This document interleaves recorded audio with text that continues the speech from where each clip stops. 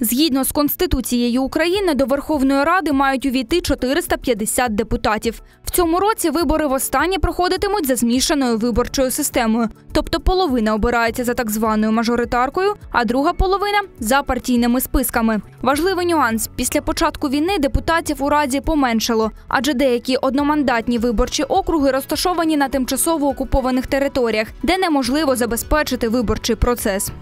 На руки виборець отримає два бюлетені. У першому має вказати партію, яку він підтримує. Наразі у ЦВК зареєстровано 22 політичні сили. У другому бюлетені обирається кандидат від округу. Кількість кандидатів у народні депутати на кожному округу різна. Дехто з них йде у раду від партії, хтось самовисуванець. Одна й та ж людина може балотуватися лише в одному окрузі і від однієї партії. Кількість депутатів, які проходять за списками, залежить від відсотка, який партія набере на виборах. Чим вищий відсоток, тим більше прохідних місць. Тобто, якщо за партію віддали голос 40% виборців, то до Верховної Ради потраплять 40% від 225. Це лише 90 осіб зі списку. Тому чим вище кандидат у списку, тим більше в нього шансів пройти у раду. Посилюють позиції партії в парламенті і мажоритарники. Тому політичні сили закликають підтримати саме їхніх кандидатів на округах. Кожному окрузі перемагає тільки один депутат. Щоб отримати можливість прийти у парламент, треба здобути 5% голосів виборців. Ну, ці 5% вони фактично вираховуються від явки. Ну, скільки людей прийшло, явка. От і треба набрати 5%.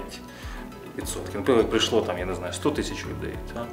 Треба е, набрати 5 тисяч. Насправді у неділю українці обиратимуть не просто депутатів, але й де-факто прем'єра та кабінет міністрів. Адже саме депутати своєю більшістю затверджують голову майбутнього уряду. Якою партія буде більше голосів, за тією вирішальне слово. Для більшості потрібно 226 осіб, тобто половина плюс одна особа. Після того, як всі ці депутати потрапляють до Верховної Ради, вони повинні е, створити правлячу коаліцію. Правляча коаліція це більшість депутатів плюс ще один депутат.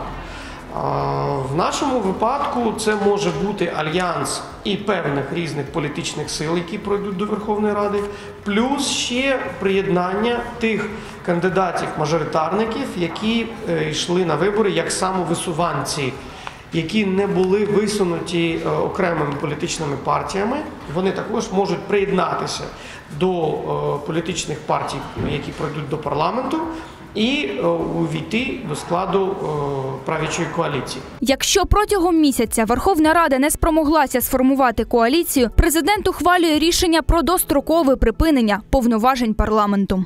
Юлія Черкаська, Дар'я Анісімова, Open News, телеканал відкритий.